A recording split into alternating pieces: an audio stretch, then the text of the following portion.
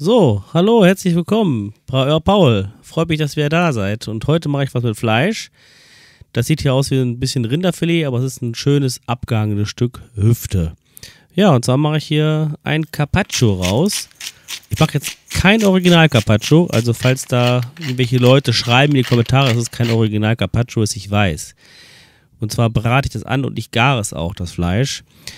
Original ist das Carpaccio ja lediglich Rinderfilet, roh geschnitten, mit Messer ausgestrichen oder plattiert, unterschiedlich und dann mit einer frischen Mayonnaise mit rohem Ei und ein bisschen Salat vielleicht. Aber wie gesagt, ich mache das anders. Das ist jetzt hier quasi euer Paul-Style. Das Carpaccio so in dieser Form habe ich schon oft gemacht und meine Frau und ich essen das so am liebsten.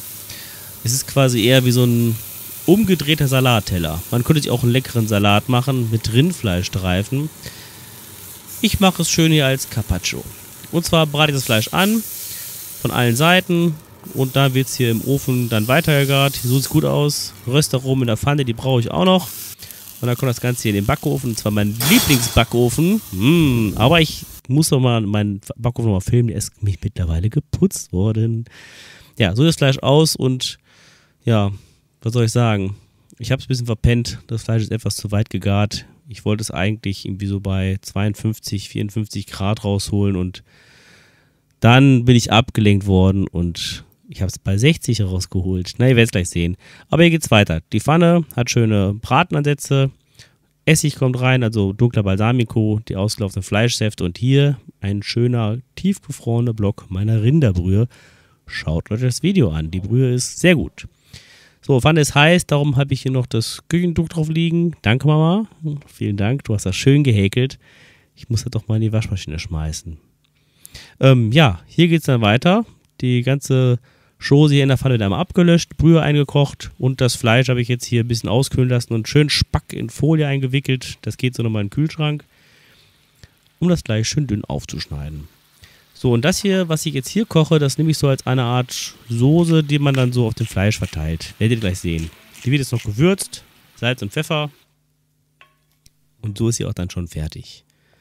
Kann dann beiseite. Mache ich auch jetzt keine Butter rein. Also ich gebe jetzt keine Butter, die ich da einmontiere. Das würde man jetzt so machen, wenn man jetzt eine, eine, eine Soße macht, eine Soße herstellt. So, das ist im Glas hier und das wird dann einfach so gleich auf dem Fleisch verteilt. So, das Fleisch habe ich jetzt hier. Das tue ich nochmal ein bisschen ab. Und das ist jetzt für zwei Personen. Und deswegen mache ich jetzt erstmal so einen Center Cut, um das so gerecht und fair aufzuteilen. So sieht es aus. Also es ist zu weit gegart, aber wurscht, ist mir jetzt egal. Das waren jetzt hier sogar einen Ticken über 60 Grad. Und jetzt schneide ich hier so dünne Scheiben, wie es geht, nur runter.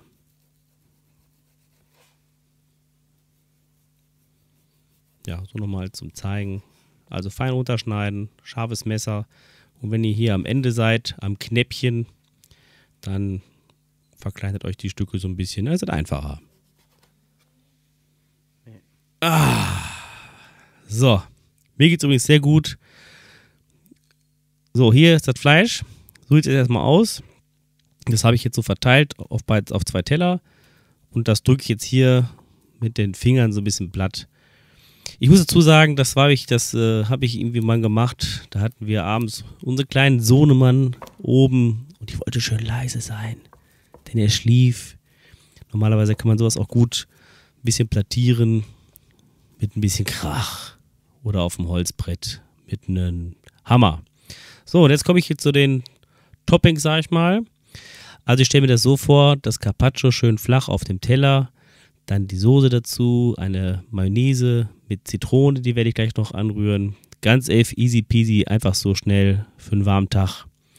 Und dazu dann Salat, ein paar Kerne dazu, Pilze, Kartoffeln. Hm, da sind wir schon, das war Stichwort. Die sind vorgekocht, abgekühlt und die werden einfach dann hier so in der Pfanne in Olivenöl angebraten. Einlegen und laufen lassen. Schnell mal durchjiggeln, wird sich alles ein bisschen verteilt und dann erstmal die Pfanne vergessen. Also, der Schnitt war schon da. Ich drehe die, äh, die Stücke einfach um. Wenn ihr geübt seid, das mit den Fingern zu machen, dann macht es mit den Fingern sonst besser mit der Zange. So, dann hier, wie ich schon versprochen habe, Zitrone, in die Mayonnaise rein, fertige Mayonnaise. Ich mache mir jetzt da keine große Arbeit, wie man selbst eine Mayonnaise herstellt. Könnt ihr hier auf dieser Internetseite selbst erforschen. Die Mayonnaise rühre ich jetzt einfach nur mit Zitrone und etwas Pfeffer an.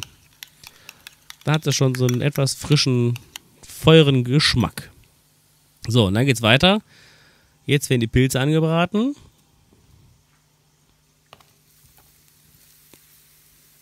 Das mache ich jetzt hier so. Ein bisschen verteilen, dass die einzelnen Oberflächen gut angebraten werden können. Ich finde auch Kochen, auch so Braten in der Pfanne, das ist, gerade wenn man keine Zeit, äh, wenn man, wenn man genug Zeit hat und Ruhe hat, was ganz Schönes, Meditatives. Könnte ich einfach jetzt bei abschalten. Ich glaube, ich könnte jetzt einfach meine Augen zumachen, weil dann sehe ich ja nichts. Also hier Rucola-Salat, Zitrone, Olivenöl und Salz.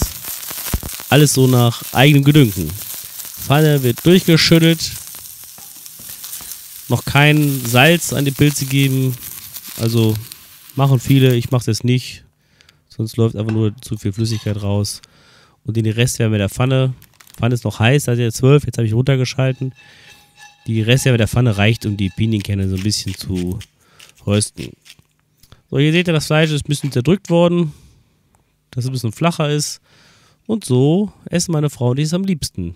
So angegart, am liebsten etwas angegart, so, das ist jetzt schon zu weit, aber wurscht. Und da gebe ich jetzt hier die Soße rüber, dann auch direkt die Zitrone, also die Zitronenmayo. Hat man immer mal so ein Stück, was ein bisschen frischer ist, was was kräftiger ist. Ist einfach sehr lecker, die Mischung. Natürlich äh, vorher Salz und Pfeffern. Und dann kommt auch schon auf jeden Teller so ein kleines Häufchen Rucola oder Rauke. Die Pilze dazu. Dann kommen schon die Kartoffeln und alles. Ach, herrlich. Ich kann sagen, ist lecker. Und wie ich ja anfangs schon sagte, man könnte natürlich auch einfach einen Salat jetzt im Teller geben und das äh, Fleisch so in Streifen schneiden, anbraten. Aber so als eine Art Carpaccio mit so ein paar warmen Elementen, was Kaltem. Also ich muss dazu sagen, den Teller hatte ich auch im Kühlschrank noch, damit das Fleisch schon was runterkühlt. Das ist aber eine schöne Mischung. Macht richtig Spaß zu essen und ist sehr lecker, gerade an warmen Tagen. Ja, hier hatte ich noch Parmesan in einer Fertigtüte, die noch übrig war. Ist jetzt kein frischer, guter Parmesan. War noch da. Drauf damit ein paar Tomaten für so ein bisschen Saft. Und dann ist es auch schon fertig. So sieht's aus. Es war sehr lecker. Macht das doch mal so nach im Euer Paul-Style.